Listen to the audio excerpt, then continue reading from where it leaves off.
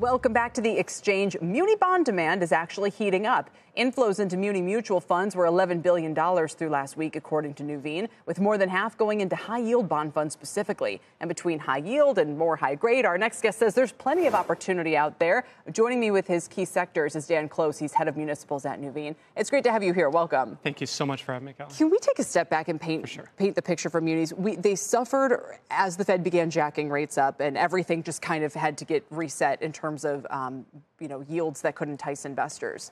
Where are we now? Yeah, munis have had a difficult year so far this year, and it's, it's primarily two factors. One is rates. Uh, back up of 50 basis points in the 10 year Treasury has impacted munis. It's impacted all fixed income. So munis has certainly been affected.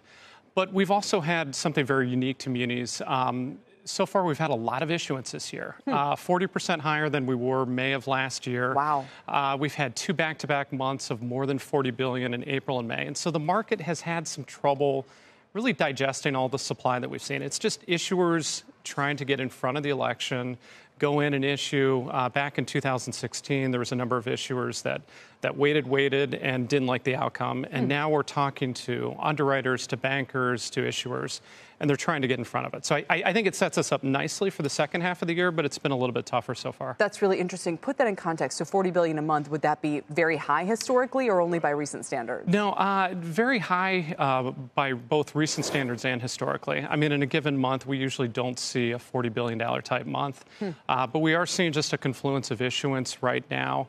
And again, I think that's part of the calendar getting pulled up, issuers trying to avoid any uncertainty with respect to what the issuance might be for the election. So if I want a nine and a quarter percent tax equivalent yeah. yield, what kind of exposure am I am I getting? What are and, and and where would you kind of point people if they wanted something that wasn't gonna gonna they wanted to sleep at night. Right, right. So nine and a quarter on a tax equivalent yield is where our high yield fund is right now. So that is going wow. in and t- buying primarily non-rated paper, certainly still essential service monopolies, but these are more non-rated, double B, single B type issuances. Such as any, any examples come to mind, like like what kinds of, of projects for or, or, or, pieces of infrastructure or whatever? Yeah, uh, all of these are for infrastructure, mm-hmm. but right now in our high yield fund, for instance, we have a lot of what are called dirt deals. Uh, so when you're going in and building a development in Florida, hmm. you're putting in streets, you're putting in potable water but then you're getting repaid over time by going in and paying an assessment. That's pari passu with property taxes. Is that is that a risky endeavor? I mean, it would seem over time like that would be a pretty good one. But... Yeah, certainly, certainly. You're taking a lot more risk up front, but over time it turns into essentially a local general obligation bond. So hmm. there is some more risk up front.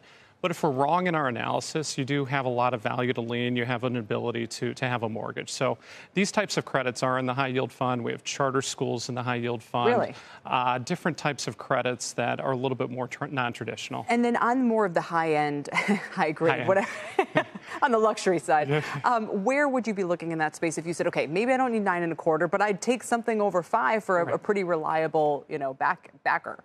Right. And, and, right now, on the entire municipal yield curve, no matter where you are, even for AAA rated bonds, you're yielding more than 5% on a taxable equivalent yield. And that's why we've seen so many flows come in. But we're, we're looking right now uh, more on the high grade side, water and sewer. Mm-hmm. We're looking at local general obligation bonds that are backed by uh, local property taxes. And, and we've seen a lot of airport debt being issued too. As we start to see airports go in and go a little bit more away from building just runways and gates. We're seeing more amenities come in for uh, shopping, for retail outlets, for other other things that yeah. uh, that come up, and we're See, seeing that. I don't know why munis get this bad. I think this is fascinating. I could get. I love connecting all of these dots and the election thing you mentioned as well. Um, Dan, thanks for your time today, and we'll we'll follow up and see, especially as the election grows near, how that's affecting investors. Thank you so much for having me, Kelly. Yeah, we appreciate it. Dan Close with Nuveen.